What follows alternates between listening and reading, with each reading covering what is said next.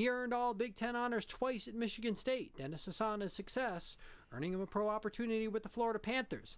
The defenseman skating his rookie season with the Charlotte Checkers. Uh, people don't realize how good the American League is, and uh, it's a very good league. It's a very hard league.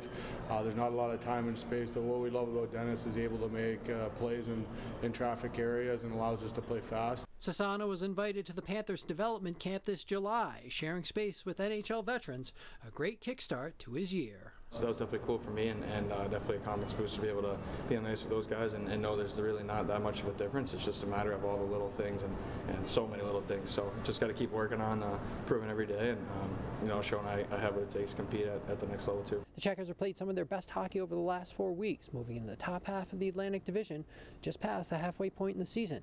Dennis's goal is to keep improving his game in the second half to help Charlotte make a run at the Eastern Conference Finals. Our division is probably the tightest in, in the AHL, so I'm um, just coming in every game like a playoff game kind of mindset now and, and trying to get get wins and, and, keep moving up in the standings. I'm excited to see what we can do in the playoffs when, when kind of um, down to the nitty gritty, and, and I think we have the group to do something cool here. At the AMP, I'm JP Smallins, 12 Sports.